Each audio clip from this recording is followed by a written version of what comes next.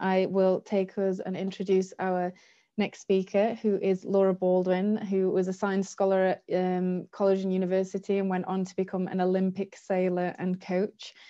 Um, she now takes on a much more difficult role of being the mother of a seven-year-old um, and is being volunteering for XR, leading local community projects such as tree planting, eco fairs, People's Assembly, uh, and going around and talking to different um, groups, for example, schools.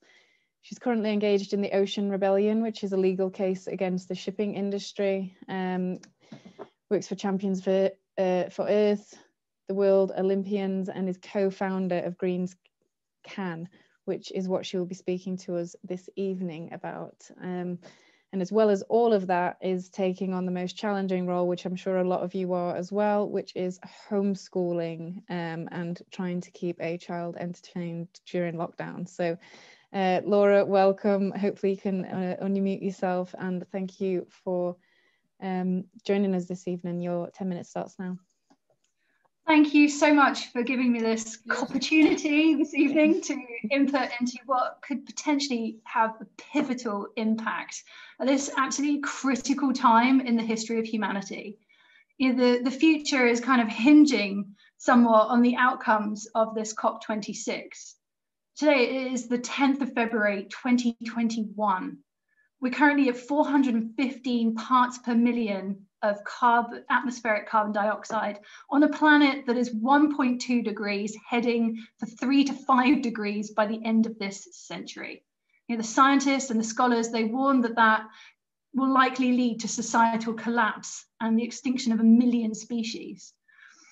You know, these um, dates for carbon neutrality are giving us a false sense of time. You know, it's not 2050, it's not 2030, it's this year and next. It's how we come out of the COVID crisis that is going to shape the next decade, century, and beyond. You know, the Green Party are the trusted party when it comes to the environment, and we really need to play on that superpower this year.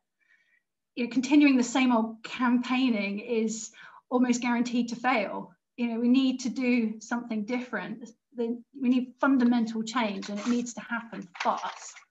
Like we need an unprecedented uprising. We need to push for much stronger, much faster, genuinely green solutions from this government now. The Green Party's time is now. It is, it's this year. Everything that they've been working on for years, everything needs to climax in this year to really push ourselves forward and get heard and noticed. Um, so, how does the Green Party use its platform to propel the people of this country to take action?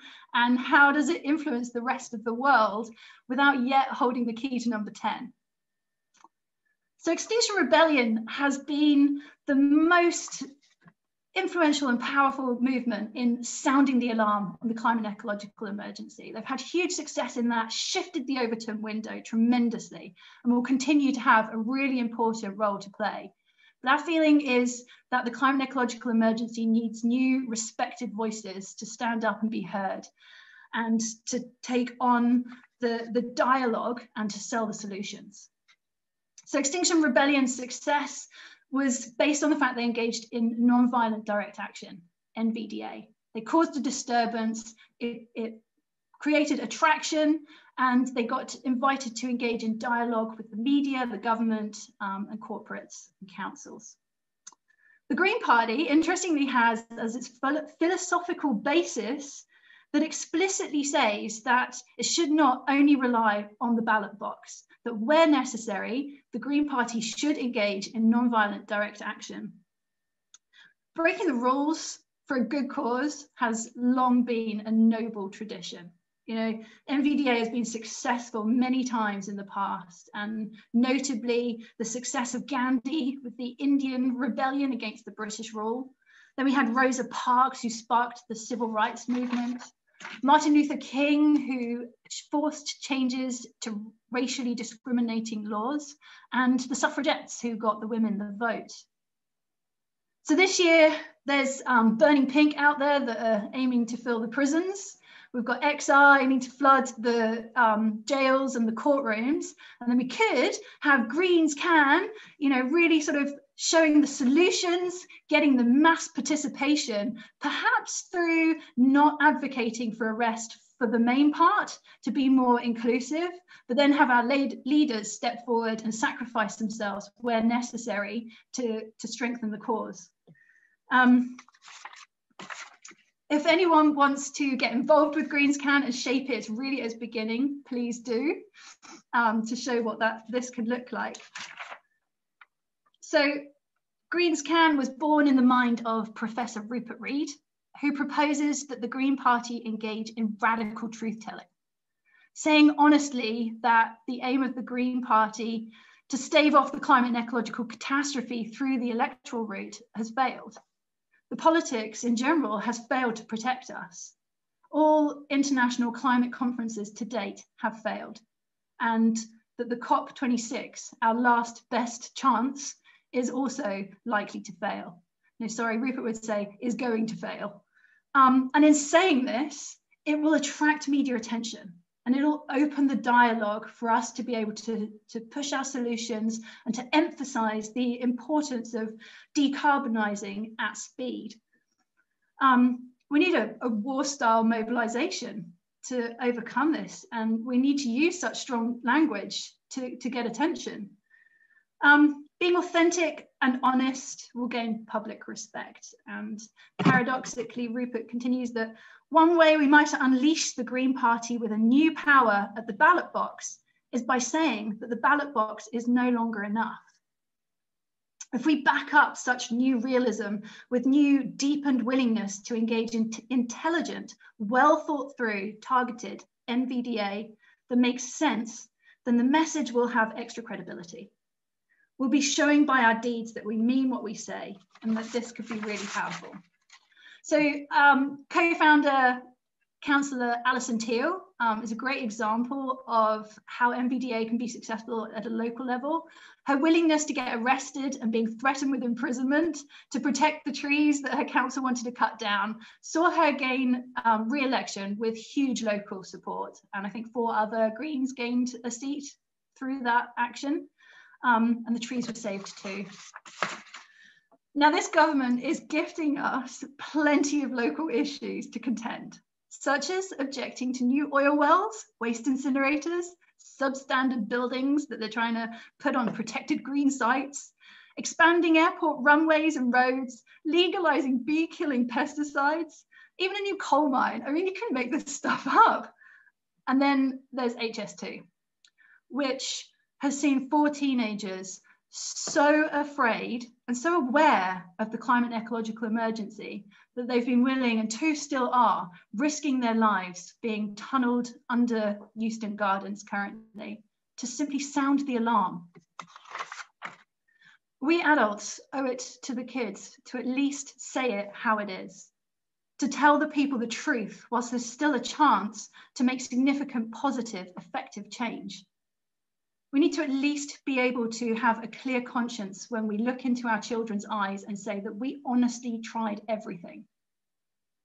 Many of the youths, they know the scientific facts, but what is causing them the eco anxiety suffering is, is the inaction of this government and the, the fear of what will be, you know, suffering, catastrophic climate impacts and ecological collapse.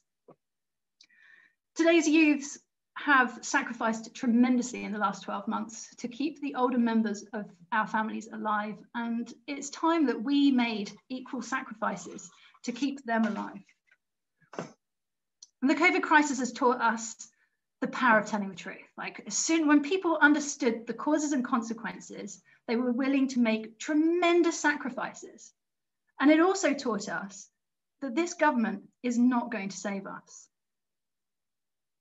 as um, co-founder Shahrar Ali says, we need to move beyond what is politically possible to deliver what is scientifically necessary. We need to empower and motivate people to consent and participate in making the necessary changes. We need to focus on what we're going to gain, you know, we need to focus local, improving the quality of lives, creating happy, healthy, fulfilling communities that our children can thrive in for generations to come. Yes, learning the truth is going to cause people shock, feelings of grief and anger, but they need to experience these emotions in order to consent to making the necessary changes. We need to transfer that emotional energy into positive action. And by including people the decision-making processes, locally by using people assemblies, and nationally by using citizens' assemblies, we can really help to get people to consent to these changes by being part of the process. And it will also strengthen politics, enabling those difficult decisions to be made without politicians having to shoulder any of the blame. It's perfect, really, isn't it? Let's start now, during lockdown, by three. Greta has shown the power of words, mobilizing millions of school children to strike for climate. We need to find our courage to step outside of our comfort zones and follow a radically honest path. Let's support Greens locally in actions. Let's tell the truth locally. Let's mobilize our communities to engage in emergency food growing, water capture, rewilding, mass get, getting together and creating energy, renewable energy co-ops, you know, make these changes that are necessary happen. Don't just wait for the government to deliver it to us. Um, and we need to get that energy and urgency that comes with XR and get it to um, to sort of really and, and supercharge the transition movement to something that can create effective change. And let's plan the mother of all uprisings once it's COVID safe to do so. Like, let's call upon the 50,000 members and all their cross party friends, the sea of green hitting Westminster with our placards showcasing the solutions. Also, a massive banner probably saying we're running out of time, and that really powerful countdown clock of the carbon budget to the 1.5 degrees. Um, yeah, let's booster this green Britain revolution that's now launching through um, the, the Express and the Sun, because together we can. And I just really quickly like to say, I'm sorry, I know I'm running over, um, a really huge thank you to those that have already expressed support for Greens Can, namely Molly Scott Cato, Sarah Lunnon, Zoe Hatch, Jonathan Porritt and Britta Goodman. Please do get involved. It's brand new. You can shape it and create it. We've got a couple of trainings coming up in People's Assembly Facilitation and NVDA. I'll put the details in the chat. Um, and helping with fundraising for actions, but also we're thinking that why not try and fundraise for resilience and regeneration of local, you know, local communities to get the money to make happen what we need to. Um, thanks very much.